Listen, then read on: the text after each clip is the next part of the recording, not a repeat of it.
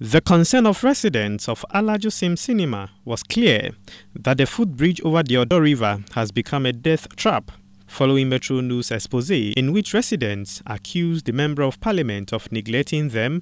The MP for Ayawaso Central, Honorable Henry Quartey, has responded by saying all efforts to get Roads and Highways Ministry to fix the bridge have proven futile. Now, I have come to inspect this. I've looked at it about seven times.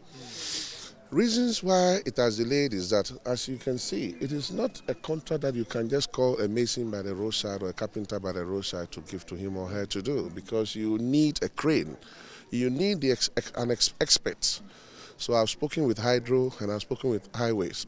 Um, in fact, even last week, the engineer for this area came to take photographs and all that. Again, I have spoken to the minister myself. I engaged him. Quickly directed his deputy uh, director in charge of maintenance to have a look at it. So it is not as if uh, we have uh, uh, uh, neglected residents here. He has, however, decided to, in the interim, rehabilitate the bridge with his own resources within a week. But to suggest that I don't even know where this bridge is, it's rather unfortunate. When I stood here, this was one of the uh, flashpoints during 2012 elections, and I stood there for more than three hours.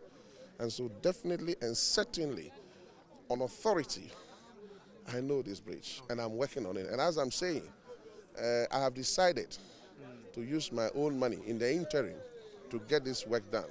I'm sure, I am sure, uh, I don't want to mention the day, but as I said, inshallah, if God gives us life, you come back here with your crew exactly to this week and tell the viewers the story.